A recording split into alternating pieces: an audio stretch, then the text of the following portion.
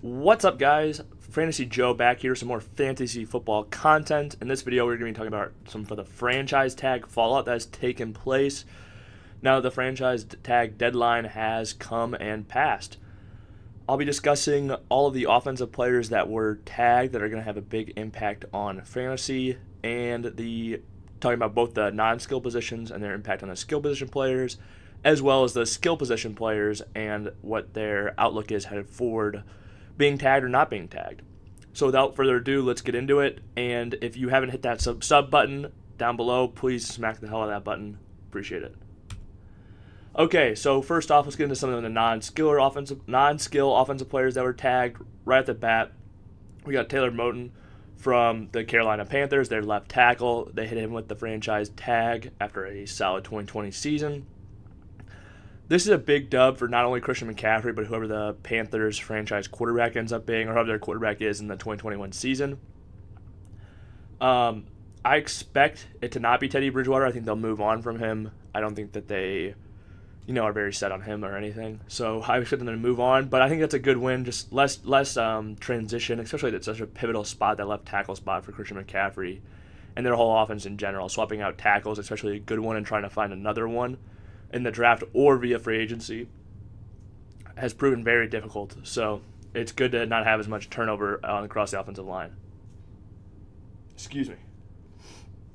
Next up, you got Brandon Scherff, um, the right guard for the Washington football team. This obviously helps um, Antonio Gibson. It'll help the quarterback too, keep him upright. I think this really does help Antonio Gibson though. Scherff's a run blocking mauler at right guard who just mauls people. Um, obviously, he's a mauler, but uh, yeah, he's just a very talented um, offensive lineman who makes a big difference in that run game, and I think that is going to continue to pay dividends for Antonio Gibson, especially those interior offensive linemen. Those affect the um, running back running game a little bit more, even I think, than the exterior, and uh, then the um, tackles. Uh, the tackles definitely help the quarterbacks out a ton, though. The tackles help everybody out though as well. Next up, though, we got the left tackle for the Jacksonville Jaguars, Cam Robinson, who I think has started every game in his career so far. That'll be a big help for James Robinson and Trevor Lawrence, who I assume they'll take at the with the first pick. Um, yeah, I don't think both Taylor Moton and James uh, and Cam Robinson. I don't think they're great players, but I think they're very solid NFL tackles. And I mean, there's a reason these teams are paying them thirteen and a half to fourteen million dollars this year and it's because they don't want to risk, you know, trying to go find. They know how valuable these tackles are, and just even having a solid player at that position that you think is worthy of a franchise tag is a great advantage over most other teams who are going to be looking. So yeah, those are some of the non-offensive skill players and how they affect the skill players in their teams moving forward. All right, first skill position player we're going to talk about today that was hit with the franchise tag, Allen Robinson. Allen Robinson has actually absolutely balled his last two seasons in Chicago. Um, he's been a wide receiver one each of the last two seasons. In 2019, he finished as wide receiver 11, averaging 12.9 fantasy points per game. And then in 2020, last year, he finished as a wide receiver 12. A little better season, though, averaging 13.2 points per game um, in 2020. But um, another thing we have to look at with Allen Robinson that um, yeah, it's the last 2019. He also had 98 receptions and 102 in 2020. So the guy is a target monster, as we said. If we look at the targets as well, in 2019 he had 154 targets, and in 2020 he had 151. I bet if we were going to make a list of guys that have 100, 150 targets each of the last two years, it would include Allen Robinson and, and less than five other people's names, almost guaranteed. Um, I still can see him as a you know a back end wide receiver one moving forward, even in Chicago, which you know, I think this is like a bad landing places in some people's eyes, but that's why I put marginal QB improvement because anytime a quarterback goes to a new offense and has to gel with a new quarterback in one off season, it's usually pretty difficult. And at least here, he's staying here in the same offense where he's been able to ball with. You know, he had Nick Foles and and uh, Mitch last year, and he was able to get it done and finish the wide receiver one with those two guys. So I think him being comfortable in the system and the target volume that he's going to get, even if the quarterback play isn't great I don't think he can get much worse than it's been each of the last two years, and I really do expect him to cont- continue the production he's been on. He's a super talented wide receiver. There's a reason they hit him with a franchise tag. It's because if you let a guy like this hit free agency, somebody's going to break the bank and, and take him away from you. Um, and that's just because he's so talented. And yeah, I expect him to continue to produce for fantasy, even when even though he's in Chicago moving forward. Next up, we've got Chris Godwin. Chris Godwin finished 2019 as the number two wide receiver overall in only 14 games, behind only Michael Thomas with his 149 reception year that year. Now, I think this just shows how high his ceiling was. Obviously, Brady was on that team. It was Jameis, but still, um, he had a deceptive 2020, I, I think, as well.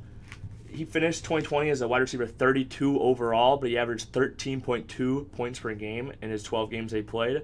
And if we put that in perspective to Allen Robinson, we just talked about it being a back end wide receiver one, he averaged 13.2 points per game last year as well. So if you take his 16 game pace as well for the um, what his, for a 2020 season, he would have finished his first year with Brady with 112 targets, 86 receptions, 1120 yards, and nine touchdowns, which is a great fantasy season. And again, would have put him in the back end of that um, back end wide receiver one. But again, that is with that's last year when they had Antonio Brown who had 62 targets and only 8 games played, I believe, which is, you know, a ton. And he that was over the second half too when Chris Godwin missed some games and things like that with that finger injury. I think that finger injury really did affect him a lot moving forward. Tom Brady has said how he's he's got some of the best hands he's ever seen of any of those quarterbacks, or uh, he's got the, some of the best hands he's ever seen of any wide receiver he's ever played with which means a lot coming from Tom Brady when you play with guys along the lines of Wes Welker, Julian Edelman, Randy Moss, Rob Gronkowski, Deion Branch, some really talented wide receivers in the past that he's played with, Brandin Cooks even. But he says that he has the best hands. And is still, you know, very talented. I think when AB, I expect him to hit the road. I don't think he'll stick around maybe he does because Tampa Tampa's only one of the only teams that's going to bring him back, and he wants to be with Brady again. I don't know. That has yet to be seen. But if I was a betting man, I'd expect him to leave. And I think that'll open up even more targets for Chris Godwin. Get back to that. Even when he finishes wide receiver two, I think he had 124 targets last year. So him finishing on a 112 target pace last year, I don't think is much of a concern. Especially when you think, like I said, I think expect Antonio Brown most likely to leave, and then I think get right back to that pace. Chris Godwin is also still very young. He's only 24 years old. I think that's a big reason why they hit him with the tag. He's just so young, athletic, explosive. If you let him hit the free agency, similar to Allen Robinson, who is older, but like somebody like the New York Jets is going to break the bank, or the Miami Dolphins that need a position player bad, that need a skill uh, wide receiver, that need a wide receiver um, bad, would have gone out would have broke the bank, signed this guy to a five-year massive deal or something like that and not blink twice about it given his age. So I do think it was a good move by the Buccaneers to tag him.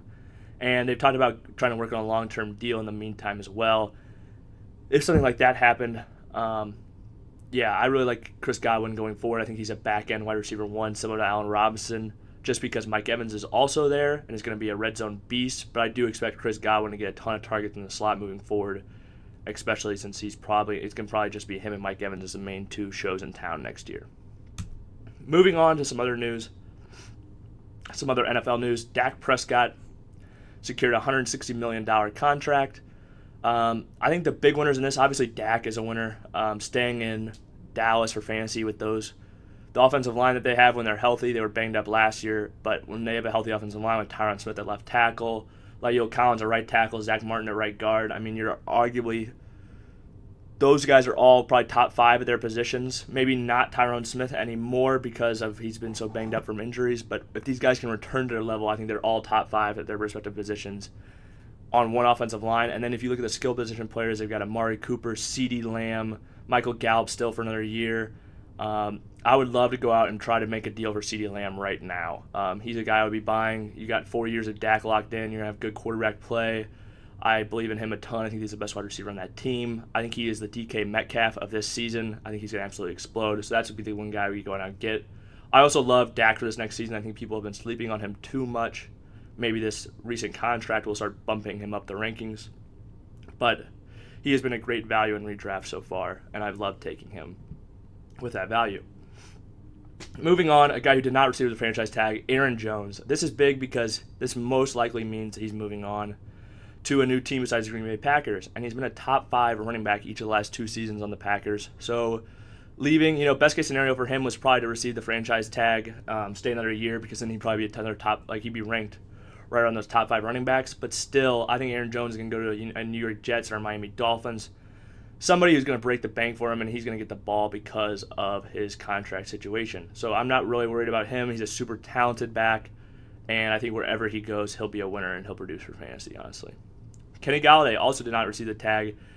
It'll be interesting to see where he goes now that he's the best wide receiver basically on the market, I think you could say, with Allen Robinson and Chris Godwin both being franchise tagged. He's a talented receiver. He's more of a big body down the field guy, not so much as the intermediate routes, but he's just getting better and better, and he's got elite size, and he really snatches the ball of the air. So if he had stayed in with the Lions, you know, and he was only targeting town, just him and Hockenson, I don't think it would have been the worst thing with Jared Goff because they'll be they'll be down in so many games. But if he could go somewhere with a solid quarterback, get some money, he's a very talented guy who I think um, could produce for fantasy definitely, depending on his landing spot next year. The talent's there. We just got to see where he lands and if he'll get the opportunity to be, you know, an alpha number one receiver somewhere. That's all for this video. If you made it till now and you like it, please hit the like button on this video. If you like the content I post on the channel, hit that sub button. If you have any questions or comments, um, leave them in the comment section. I will reply to all comments that we have down there. So until next time, peace out. This is Fantasy Joe. Thank you for watching.